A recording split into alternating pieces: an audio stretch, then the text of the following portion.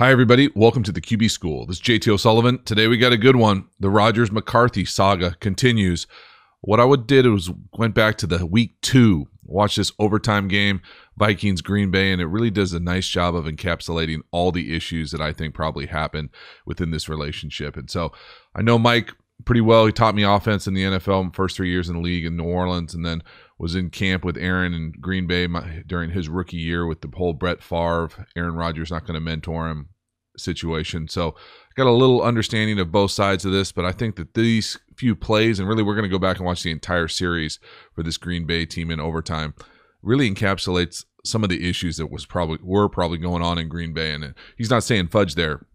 So right here, third and four to basically win the game. And it comes down to a protection error, but really there's blame on both sides, like many, you know, bad relationships sometimes probably. So we're going to break down the all 22, see exactly what happened pass pro wise here.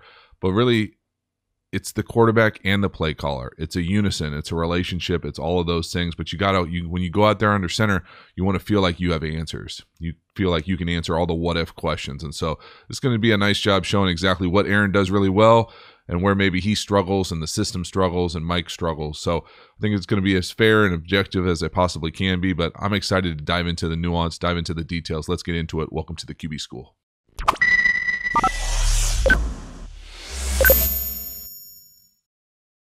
All right, so overtime series here. Now they had a chance to win it at the end of regulation, just couldn't get the kicking game going this time of year. Right here, first offensive play for them. They come out run what essentially is a nine stop. So it's just going to be a one-on-one route, a little fake go, almost like a back shoulder, but it's not a back shoulder. It's just a nine stop. They're going to run a vertical release. You come up, rip it on timing. Probably not the most accurate ball. He comes back later in the series and throws a more accurate ball. But I love the read. It's really clean, really simple, great series starter. So right here, he's just going to come up and run essentially a vertical stem, nine yards, turn around, you put it right on him. Easy read. Middle field closed. You see this guy coming down, coming back to the middle, probably really simple. Easy read. Great job getting a completion, letting your best player make the plays with the ball. And even though it's not the best throw in the world, it's still, we're going to ride Aaron here. He's our best player. We've been doing it for a decade as a franchise. Come out, give it, give him the rock. So go from really what should be second and one to second and four here. We'll see the footwork of it, and this is and this is a good example of what what Aaron brings sometimes in the in the kind of analysis by paralysis idea of playing quarterback. And so you see it right here he's basically pointing to the back saying, hey, you got to check the nickel to the far side. So we're going to go back all the way to the wide here first. And he's saying that nickel up here, up top on the top of the screen, they don't have accounted for in the scheme, in the pass pro. So if he were to come, the back would then have to come across, scan, and get him. He'd have to check his dual, which is right here, to probably this guy coming down right here. So if either if any of these three guys were to come, this back would need to block them. They'd be hot. So Aaron's on top of it. He sees it. He knows exactly who's who in the zoo here as far as where we're at at the line of scrimmage, and that's a great indicator for a quarterback. But you can see it doesn't really help the back. He's not coming because the based on the rotation. Now, if Aaron would have seen the linebackers buzz over, as soon as 55 moves over, you know that safety's coming down. Now it happens late because they're get coached too, but you see him buzz over. That back doesn't need to go over there. He needs to get out. But again, doesn't matter. Gets a completion. Not as accurate as he wants, probably because he's worrying about the pass pro. So they come back second down, second and fourish. Run uh, open side, inside zone here. Nice job. Probably got more. There's probably more left out there. Missed the block at left guard. Nice play chasing it down by the end. But nice play call. Okay, little little zone play to our right. The offense is left. Little bubble right there, left guard, not the best block in the world. But again, nice call. We got a first down, moving, coming off. We're across the 50 yard line. One more first down, and it's probably a wrap. So what do we do again? Let's roll into let's pass pro it up. Seven man protection. Little Fox two is what they call this. Throwing another stop route. This actually might be a little deeper. Let's see how deep he gets. This is a little deeper. This might be a hinge. Doesn't matter. Same similar concept even if the depth isn't identical. But timing wise, this is what Aaron. This is why Aaron's special right here. These type of throws. One, two, three, far hash, rip on his face, a laser. Defender has no chance. Just beautiful timing, beautiful accuracy. He's going to let that thing go. He still hasn't even come out of his break yet. Right on his face, timing of it. I love it. Ball's halfway in the air before he even comes out of it. Really nice job. This is it. That's Aaron at his best. So now, second and one, exactly where you want him. Okay, Fox 2, I like this kind of protection. McCarthy loves this protection. Seven man protection. So, what it does for, for all my protection nerds out there, the line, these two guys, the line here is going, these five are going to this will, usually. So, the backs, sorry, this will. So, the backs usually going either inside. There should be another nickel out here. So they're going one, two. They each have one. And what that ends up doing is putting kind of blinders on this right guard. So when he goes to set versus three technique, come back, theoretically, you should get this guy on this side, this guy on this side, and this tailback on this side to give him little walls basically a triple team you can do against grade three techniques. I'm not saying he's a grade three technique, just saying that's the technique. Nice job. McCarthy's lived in this protection for a long time. Different ways to get to it. Doesn't work out right here. They all go through the same gap, which defeats the purpose of the protection. But again, it's not Aaron's fault. It's not Mike's fault that they can't get through the right gaps. Doesn't matter. He does a nice job making the connection, making the completion, and that's Aaron at his best. And now it's second and one. Now we're going to come back to the outside zone. This time run it to the tight end side, three by one side. They're running outside zone. You see the linebackers boss over. Here comes the safety. Now Aaron is going to just pull this. This isn't a read play. They're not leaving the end. You see the ends getting blocked by the right tackle. This is just Aaron trying to play hero ball. And McCarthy lets you do this in the run game, especially on third and short sometimes. You pull it, you got to make the first. So he's going to come out there and say he can make that safety miss in space. It's second and one. If you get a first down right here, it's probably a game over. So just so we're all, on, I'll run it back from the tight, actually, probably be better. You can tell it's not a read play because of what the X is doing down here at the wide receiver. He's just taking the play off.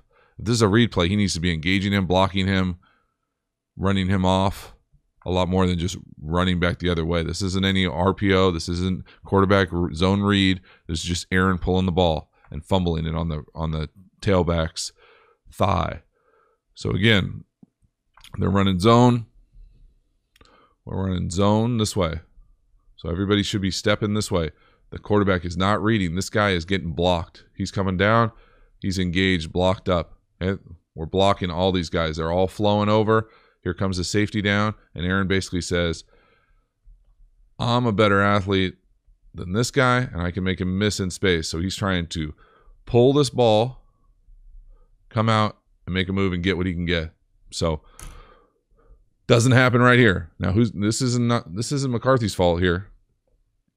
This is Aaron trying to play hero ball and it's just not working. It's worked in the past. He definitely has hero capacity in him. So be able to come out, pull that, make a play. Doesn't work here. Now it's third and four. You go from second and one, and he knows it right there. You go from second and one to third and four. Third and four at the top of the field goal range. You know you're going to get heated up. You know it's coming. He doesn't see it. They're in five man pass protection. So on that first down, they were in seven man pass protection. We remember. This is five man pass protection. Now they're only bringing five, but they get him with a little with a with some pressure from the from the back end. Now we'll say we'll go back and it's easy to block it up when you get the clicker. But there are little indicators. Anytime you get a defensive end standing up, okay, anytime you get this overload look, you know, you, someone's coming. They're not all going to be down in the feet of the defensive lineman if they're not coming. Okay, and then scheme wise, well, that's what I really want to pay attention to from the wide.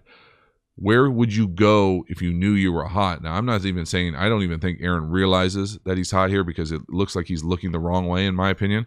But scheme wise, this is what I, some of the things I didn't love. There's not a lot of great answers here. You essentially have an old school hook flat out here, hook flat, and then up here, you have essentially a corner, a shallow, and then I'm going to say it's an option route, but it might just be just a straight up hitch. So, not a lot of great options. So, I'm going to say that the ball should have come up and gone to the hitch, or if you can buy time as a quarterback, if you know where the pressure is, you can come back and throw it to the to the drive or shallow. So Favre used to do that all the time on a similar concept. But again, not a lot of great options. Five man pass pro in this setup.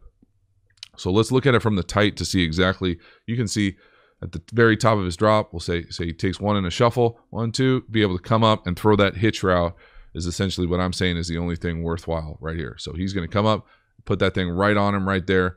Otherwise, you can let this guy come across because you know this defender's trying to wall. So if you can buy time coming this way, you can throw that ball right here. But that's a big ask. You got guys chasing down your throat. So not a lot of great options scheme wise. That's why I see the frustration quarterback wise. There's not a lot of great answers, but he's not helping himself playing hero ball on third and one or second and one, and then coming out here and not looking the right way. So pass pro wise, five guys blocking. They're going to 54. And you can tell they're going to 54. Aaron thinks he's hot to the right. He's looking to the right, but he's hot to the left because he doesn't see the DB come in. Now we need a big duel by the left tackle. So what I mean by that is you're going to take once you get into the feet of the defensive end. Let's just go. I'm going to go through the scheme, the whole scheme first. So five guys blocking. Okay, four defensive linemen. Can't see him right here, right here. We want those four guys blocked all the time, big on big. The offensive line is going to 54. You can tell because of how the center and guard react. They come, they're coming straight here. Okay, so then we need a big duel by left tackle Bakhtiari.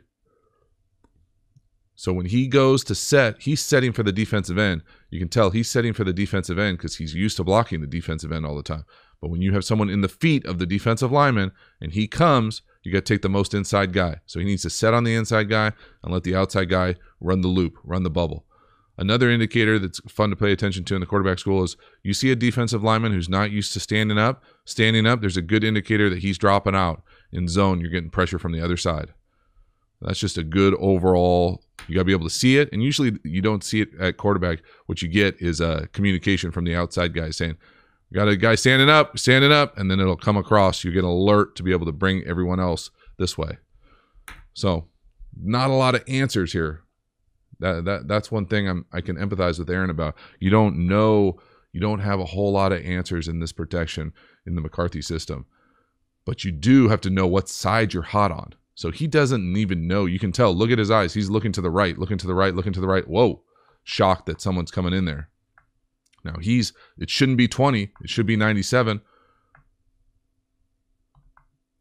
Okay, he needs a short set from the left tackle, and you can tell he knows he made a mistake as soon as he pops out so hard, kicks out, realizes, oh no, I should I got the I got the big duel. But again, he's getting hammered. He's not looking in the right direction. He doesn't have answers. Don't love the play call. Obviously, easy with the clicker to say that. But again, you see the blame on both sides. I think. I think this the the series of plays in a overtime in a very winnable game at home early in the season does a nice job encapsulating all the issues that probably went into this relationship. So, hopefully you learned something. Hopefully you enjoyed the video. Let me know what you think. Please get engaged with the content. If you want more long form stuff like this, get over to the Patreon community. I'm having fun doing stuff over there. Let me know what you think about the content.